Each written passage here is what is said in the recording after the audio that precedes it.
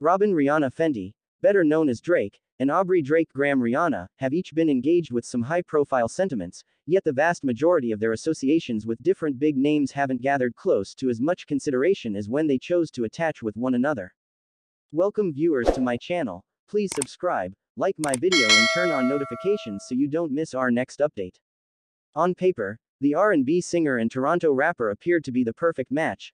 They are both extremely hot, they were both born outside of the United States, and they are both involved in the entertainment industry. Doesn't this sound like the perfect match for the entertainment industry? Wrong. Drake and Rihanna have attempted to show their love and affection for each other throughout their careers, but nothing seems to have worked out as planned. These two have had an on again, off again relationship that has no labels and is shrouded in a gray area that cannot be defined.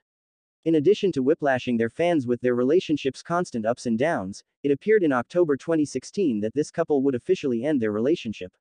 What's more, as of this composition, a blissful consummation for this pair simply wasn't separated of God's arrangement.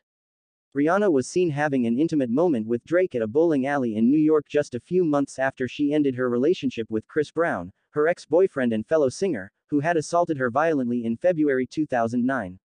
She had an affair with him throughout the night while sipping apple juice and whiskey. This would turn out to be the first of many times Rihanna and Drake would hook up, and like the rest of their brief encounters, this one would also not last for long. They were really cute together, an observer claimed about their low-key date in May. Despite the fact that the two started seeing each other on a regular basis and Rihanna even requested that Drake write a song for her, which was never released. Rihanna, on the other hand, ultimately decided to end things.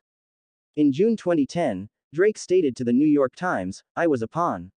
What was she doing to me, do you know? She was doing exactly what I had done to numerous women throughout my life, which was to give them quality time and then vanish. Womp, womp, does it not resemble karma? Rihanna talked about her first breakup with Drake in an interview with radio host Angie Martinez in November 2010. She said, via CNN, we weren't really sure what it was, when she talked about their relationship. Rihanna completely dispelled the notion when the radio host brought up Drake's aforementioned interview with the New York Times, in which he claimed he was treated like a pawn. The singer of Umbrella stated, I think it is what it is, like it was what it was. I was definitely drawn to Drake. We didn't want to go any further with it.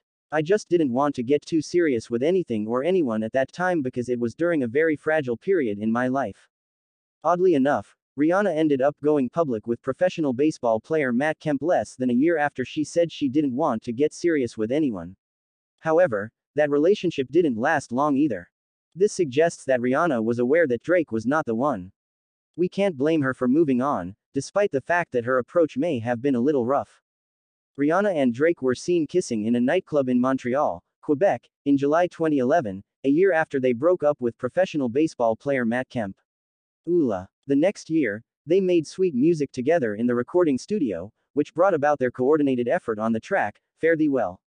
Despite the fact that Rihanna once more put the brakes on a full blown reconciliation, it appeared as though Aubrey was back and fully active. She must play with our hearts, why? In August 2012, when the singer of Pour It Up appeared on Oprah's Next Chapter, she broke the news that she still had feelings for her controversial ex boyfriend Chris Brown instead of talking about the rumors that she was dating Drake. We have re-established trust, and that is all. She stated, we probably will always love each other. Rihanna told Oprah Winfrey, absolutely, when she was asked if Brown was her true love. I think he was my first love. He was my first love.